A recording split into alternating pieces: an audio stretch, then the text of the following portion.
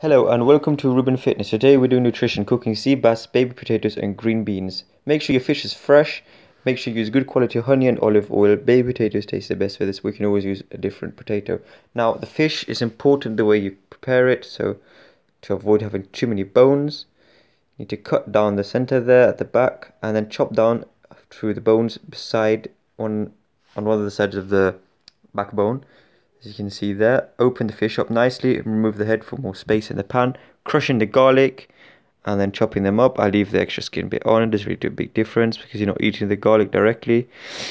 Then preparing your marinade your two teaspoons of olive oil honey pepper and herbs and your salt of course. You can always use different herbs. This is what I used. And I always use these herbs. You probably see me using them in all my videos they're my favorites. Then put that on top of your fish, spread it across nicely. Halfway through, I flip my fish around and remove the grill. Fill your pot halfway with hot water.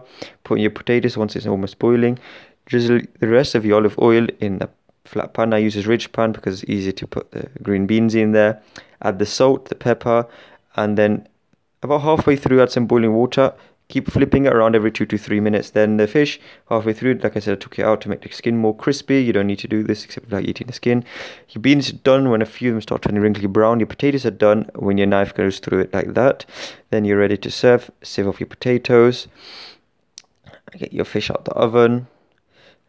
Nice and crispy.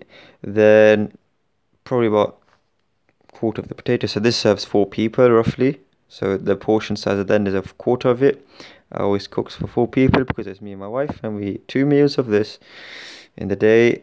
Now, nutrition this meal is very good.